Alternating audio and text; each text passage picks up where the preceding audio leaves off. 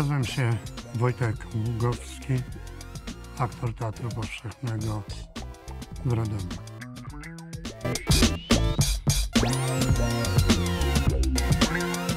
Po skończonej szkole teatralnej we Wrocławiu znalazłem się w Teatrze w Jeleniej Górze, gdzie pracowałem przez 4 lata. Była to bardzo sympatyczna, bardzo owocna praca w fajnym zespole z fajnymi reżyserami. Po czterech latach, wskutek tego, że zespół się, można powiedzieć, rozpadł, odeszło jednego roku 24 osoby z różnych względów. E, postanowiłem ja szukać innej możliwości rozwoju artystycznego i przyjechałem na zaproszenie pana Zygmunta Wojdana. Przyjechałem do teatru w Radomiu, gdzie już jestem 36 lat. Jednym z powodów również nie tylko artystycznych było to, że e, w mojej miejscowości, w której się wychowywałem, Piamki, mieszkała moja starsza mama, którą należało się opiekować.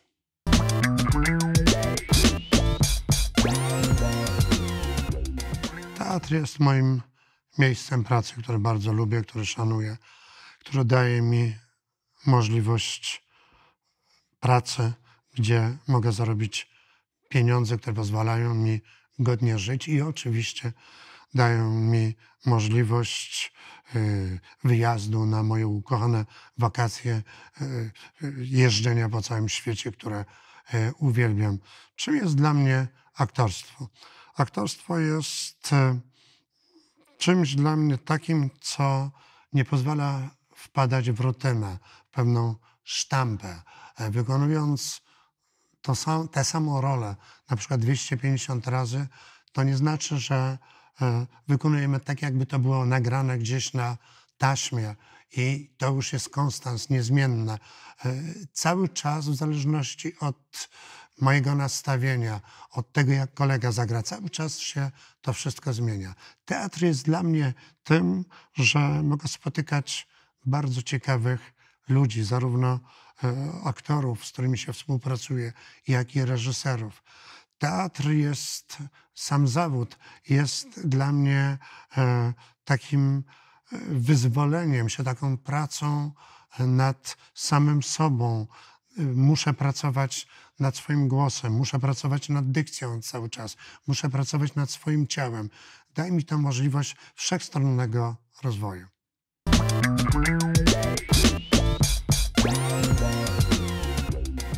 Scen zabawnych w teatrze w życiu przez te 40 lat było naprawdę bardzo dużo. Często niestety padałem e, ofiarą na scenie różnych zabawnych sytuacji. E, ale również i mnie się zdarzyło kogoś wprowadzić w zakłopotanie.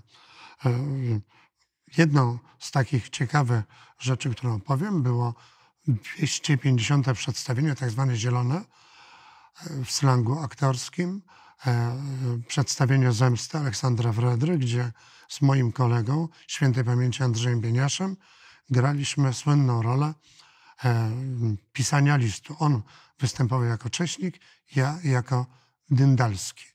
E, wszyscy przygotowywali sobie różne tam sytuacje zabawne. Ja się tego niby bałem, ale mówię, w domu sobie też przygotuję taki ośmiowers, który może wprowadzić mojego kolegę w lekkie zakłopotanie. No i zaczęła się scena, y, między innymi tam w trakcie odsłów, y, pisz B, coś tam małe i tak dalej, i tak dalej. No i Andrzej już tak się w pewnym momencie napompował, że całym sobą pracował. I ja na niego spojrzałem i powiedziałem tekst wymyślony przeze mnie. Rozrzęziłeś się, nieboże, nic ci teraz nie pomoże. I natychmiast wskoczyłem pod stół i resztę sceny napisałem już y, pod stołem, bo bałem się wyjść, że mnie po prostu zabije. To jedna z takich wesołych sytuacji. Po prostu się nie, Andrzej tego nie spodziewał, zapomniałem języka w gębie, co mu się rzadko zdarzało. E, moim ulubionym kolegą od dowcipu na scenie jest oczywiście drugi kolega, e, ulubiony mój kolega, z którym dziesiątki przedstawień zagrałem, setki, Władek Mancewicz, który w jednym z ulubionych naszych w cudzysłowie przedstawień za dyrektora Wojdana, przedstawienie nazywało się Sarkofag. E, ja grałem rolę jakiegoś tam adiutanta generała, Władek Staniszewski świętej pamięci grał rolę generała, a Władek Mancewicz e, lekarza.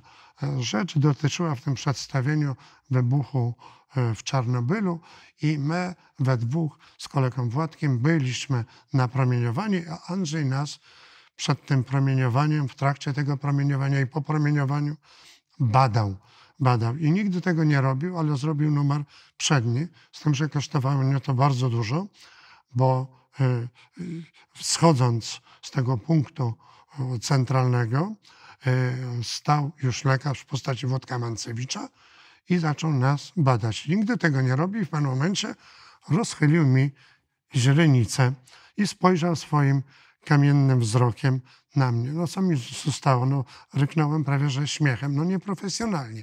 Tylko mówię, mój błąd i moja tragedia polega na tym, że w kulisach w tym czasie stał pan dyrektor Wojdan i widziałem, że kątem oka, że spurpurowiał. Ja w tym momencie też już mi do śmiechu nie było. I wpadłem mu w kulisach niemalże w ramiona. I piękne zdanie wtedy wygłosił pan dyrektor, którego uwielbiałem następujące.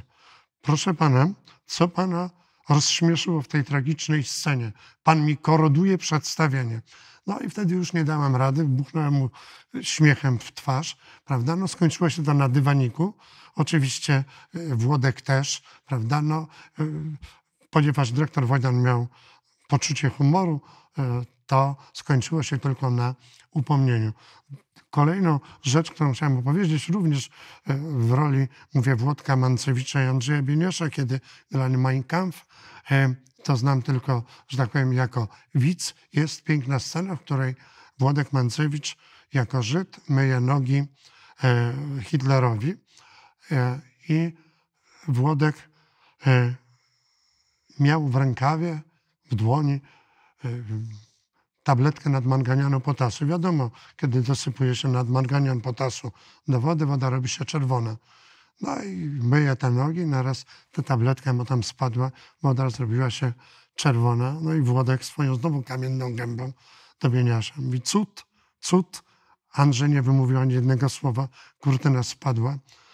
E, także to są takie zakulisowe i na scenie dowcipy, które się dzieją do dnia dzisiejszego na scenie.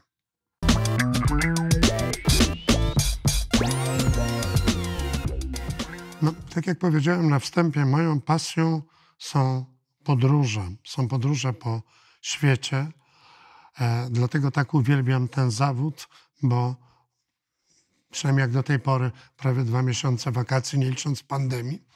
Oczywiście, gdzie wakacje są dłuższe, ale jeździmy wraz z żoną po całym świecie i łykamy świat pełnymi garściami. Uwielbiamy podróżować, a takim miejscem, gdzie najlepiej się, że tak powiem, spełniamy, gdzie kochamy, to są góry. Mogę powiedzieć, że e, przeszedłem Tatrę przez kilkadziesiąt lat wzdłuż i wszerz, zarówno polskie Tatry, jak i słowackie Tatry, ale również bywam bardzo wysoko w górach. Takim najwyższym miejscem, gdzie na własnych nogach doszedłem, był Kazbek, lodowiec Kazbek, gdzie z żoną doszliśmy na 4200 metrów i tylko straszna burza, która się nad nami rozpętała, no sprowadziła nas na dół, bo jeszcze zamierzaliśmy dojść tak gdzieś do 5000 metrów, nie na szczyt, bo na to nie byłoby nas stać, ale tak jak potrafią w miarę normalni ludzie chodzić, chcieliśmy tam wejść, no ale burza pokrzywa nasze plany.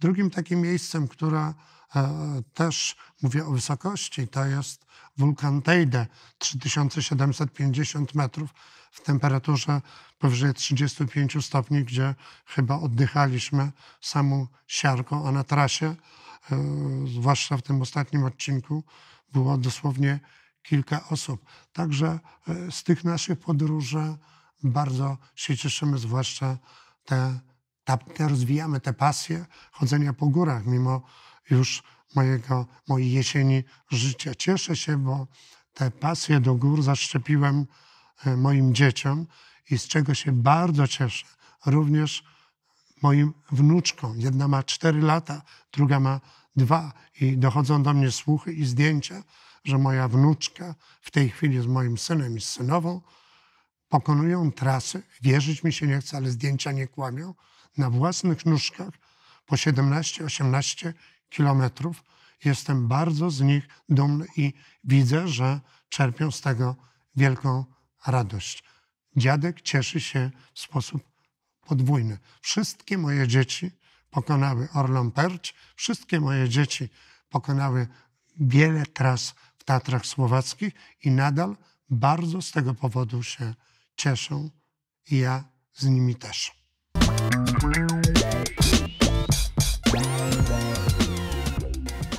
Największą satysfakcję w pracy mi daje to, że, że mogę pracować nadal w teatrze, że gram w przedstawieniach, która, na które przychodzi publiczność, która żywo reaguje, gdzie za wykonaną pracę i w trakcie, i po zakończonym przedstawieniu otrzymujemy brawa, większe, mniejsze, ale zawsze jest ta satysfakcja, że to, co zrobiłeś, się podobało, że nie zostaliśmy wygwizdani, że nie ośmieszamy się.